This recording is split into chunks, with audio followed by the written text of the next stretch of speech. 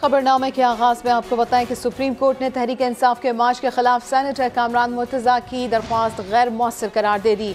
अदालत ने करार दिया कि एडवोकेट जनरल इस्लामाबाद के मौकफ के बाद हुक्म जारी करने की कोई वजह नहीं। अगर कोई खिलाफ वर्जी करता है तो एग्जीक्यूटिव के पास वसी इख्तियार मौजूद हैं। और क्या कुछ हुआ है आज की समात में? बात कर लेते हैं शहजाद अली हमारे साथ ही मौजूद हैं। शहजाद, तफसीला आगाह कीजिए। जी मारक बिल्कुल गुजशत रोज़ सैनेटर कामरान मुर्तज़ा की जानब से article one eighty four three के तहत सुप्रीम कोर्ट से रुजू किया गया था एक दरख्वास्त दायर की गई थी पी टी आई के लॉन्ग मार्च के ख़िलाफ़। आज चीफ जस्टिस जस्टर उमर बंदयाल की सरबराही में तीन रुकनी बेंच ने इस अहम दरख्वास्त पर जो है वो समात की। दौरान समात अदालत ने इस्तफसार किया कि क्या कामरान मुर्तज़ा साहब आपने एग्जेक्टिव से रबता किया है?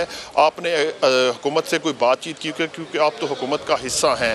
जिस पर जो है वो कामरान मुर्तज़ा ने ये कहा कि इससे कबल जो है वो अदालती फ़ैसलों की वजह से जो है वो पी टी आई जो है वो दो मरतबा इस्लामाबाद में धरने दे चुके हैं, जिससे मामूलत ज़िंदगी मुतासर होते हैं। जिस पर जो है वो अदालत ने एडिशनल अटारनी जनरल को बुलाया। रोस्टम पर उनसे इस्तफसार किया गया कि क्या पी टी आई ने इंतज़ामिया से रुजू किया है, कोई जगह या मुकाम का तयन किया गया है कि किस जगह पर जो है वो पी टी आई का धरना जो होगा या जलसा होगा तो इस होगा तो इस हवाले से एडिशनल अटारनी जनरल ने अदालत से कुछ देर का जो है वक्त मांगा, जिस पर जो है वो तीस मिनट के वक्फे के बाद जब दोबारा समाप्त हुई तो एडवोकेट जनरल इस्लामाबाद जहांगीर जदून जो है वो इस्लामाबाद सुप्रीम कोर्ट में पेश हुए और उन्होंने अदालत को ये बताया कि पी टी आई ने जो है वो एक ख़त लिखा है इंतज़ामिया को, लेकिन उससे कबल जो है जब पी टी आई ने लाहौर से लॉन्ग मार्च शुरू किया था तो खून रेजी से मतलब काफ़ी जो है वो बयान जारी हुए मुख्तलिफ़ जो है पी टी आई के रहनमा है, उनकी जानब से जिस पर जो है वो इंतज़ामिया ने वज़ीराबाद वाक़े के बाद जो है वो पी टी आई को जो है वो इस्लामाबाद में जलसे की इजाज़त नहीं दी।